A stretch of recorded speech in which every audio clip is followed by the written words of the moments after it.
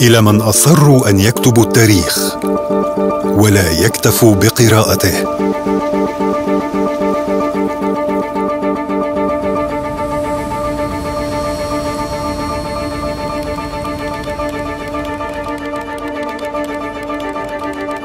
إلى من فضلوا التحدي على الخضوع.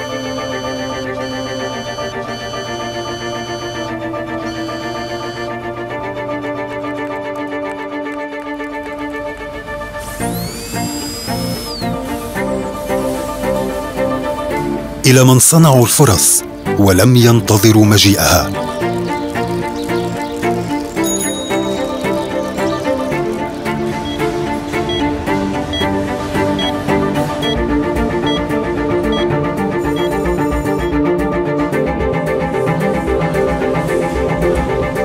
إلى من برعوا بالإبداع ورفضوا التقليد.